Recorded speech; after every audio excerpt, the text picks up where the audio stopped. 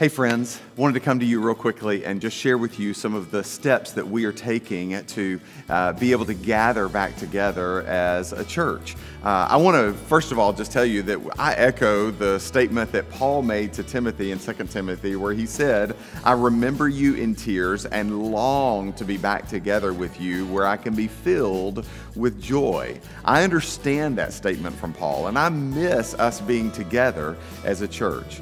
With that said, we are paying very close attention to the regulations and restrictions and announcements of our local and state government. We will use those announcements and those phases that our government will walk through to guide the phases of our regathering as a church. For instance, we are currently in phase one, which for us means that we're going to continue to uh, gather online on Sundays for our Bible study and our worship service on Wednesday afternoons for our midweek gathering. And then our children and student ministries are continuing to gather online as well. Now, as our government moves to phase two, we will make that transition as well. To get a, an overall picture, you can go to our website and all of our regathering information is there.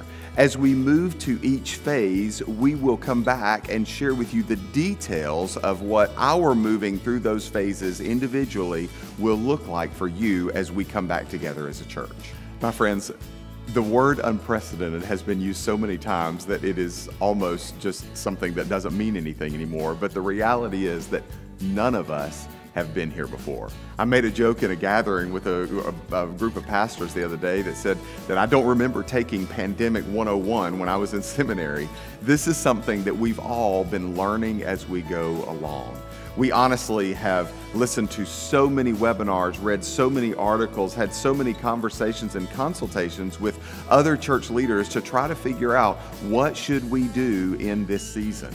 I will say that as a church, we have continued to minister to our community. And I'm so thankful for you as a church with the way that you have been faithful and allowed us to continue to touch the lives of people in our community. Even in our regathering, we want to continue to do that. We want to set an example for our community. We want to be good citizens. We want to create a secure and clean environment for us to come back together to worship the God of all creation. We look forward to that time.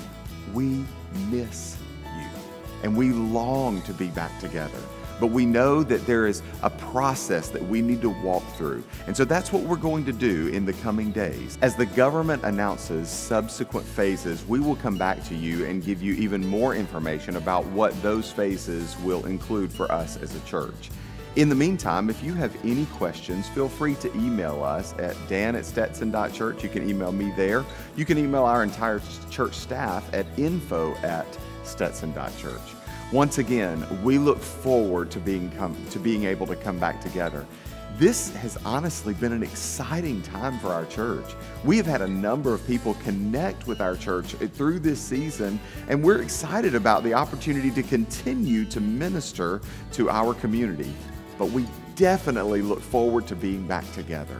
We look forward to the day that we can all join together in this room and give God all glory and all praise for all that He has done in our lives. We do that now, but there's nothing like coming back together as a church. And we hope that the information that we've shared with you today will give you some understanding of how we're going to walk through the process of being in our current situation all the way to the point of being able to gather together again. We look forward to that day.